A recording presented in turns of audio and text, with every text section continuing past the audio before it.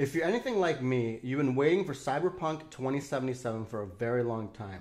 You can see the trailer at the end of this video, but first, I wanted to talk to you a little bit about why this game is so important and why so many people have been anticipating it for so long. This is Marco, I live in Orlando, and you're watching Marco in Orlando.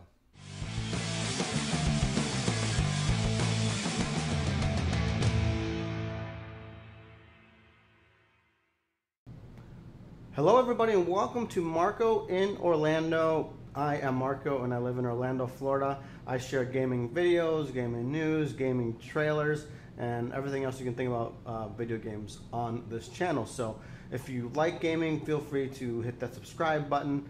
And if you like this video, please like it. It helps me with you know the just the, the, the traction on on YouTube.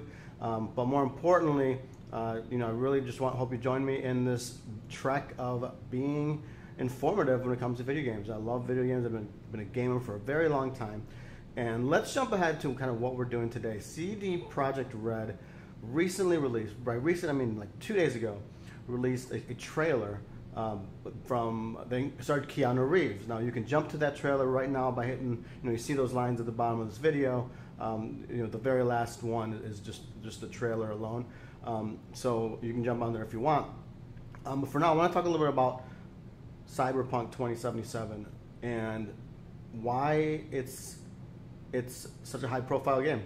The creators of this game were the ones behind, of course, Witcher 3, which to me, for my money, is the best role-playing game in this generation of of of, uh, of consoles. And uh, you know, it, it, it, when I played that game, I couldn't play anything else. I just went from start to finish, and it's a long game. It's a long game. Uh, you know, all the, all the expansion packs and all that. So to me, it was just a great storytelling and, and great uh, gaming experience. So when they announced that they were, the company announced they were going to make another game, I was instantly, I was in. Uh, I, I, will buy it on, on you know release date.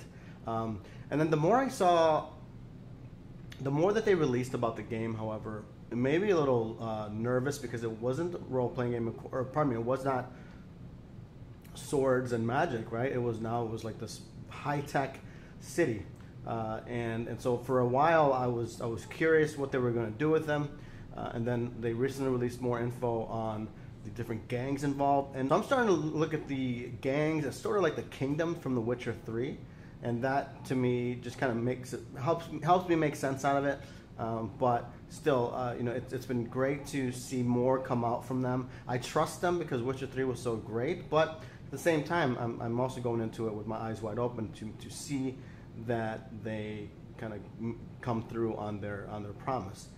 So as I said, subscribe, like, you know, follow me and, and find all my social medias and my description down there. Um, I think I'm excited for this, and without further ado, here is Keanu Reeves in Cyberpunk 2077. Welcome to Night City. Yeah, come on! The only limit to what you can do is what you're willing to become. So dream big. If you can hack it, the future's yours for the taking.